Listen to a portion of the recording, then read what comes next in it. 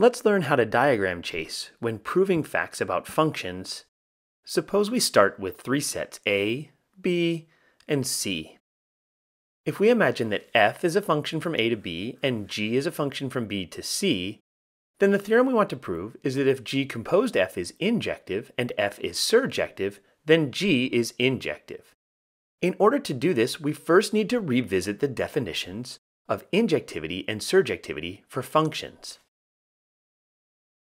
Recall that if f is a function between two sets a and b, then we're going to call f an injective function if for every pair of elements a1 and a2 in the domain, the condition that a1 and a2 map to the same element in the codomain b must imply that a1 and a2 are exactly the same element of a.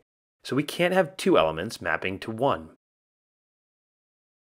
On the other hand, if f is a function from a to b, then we'll call f a surjective function if, for every element little b in the codomain b, there must exist an element little a in the domain a such that a maps to b.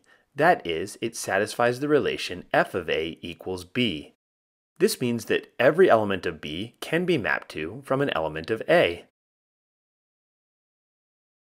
Equipped with these two definitions, we're now ready to prove the theorem at hand.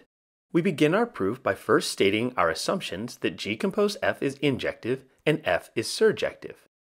Next, because we want to prove that G is an injective function, we start with two arbitrary elements B1 and B2 in the set B, and we assume that they map to the same element of C, so that G of B1 equals G of B2.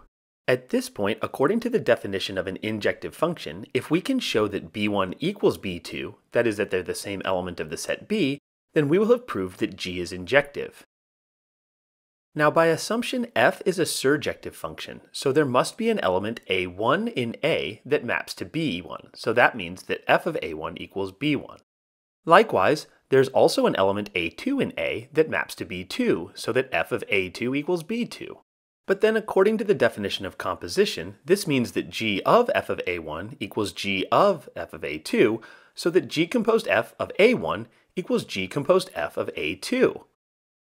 Because g composed f is an injective function and a1 and a2 map to the same element in the codomain C, we must conclude that a1 and a2 are the same element.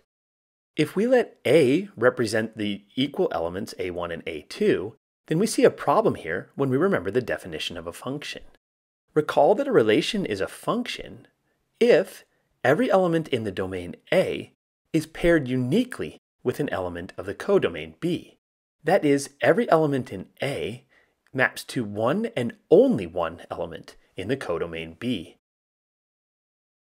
But if we revisit our picture here, we see that A maps to two elements, and therefore f of A must be B1 and f of A must be B2, so B1 must be equal to B2.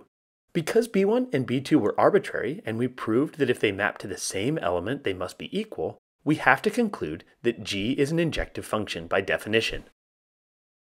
This is only one specific example of diagram chasing in proofs about functions. But we have encountered all of the important definitions when proving things about functions, including what it means for a relation to be a function, what it means for a function to be injective and surjective, and how to use the composition of two functions. Why don't you have a go at this yourself now? Imagine that A and B and C are three sets, and that f is a function from A to B, and g is a function from B to C. Suppose that g is injective and g composed f is surjective prove that f is surjective.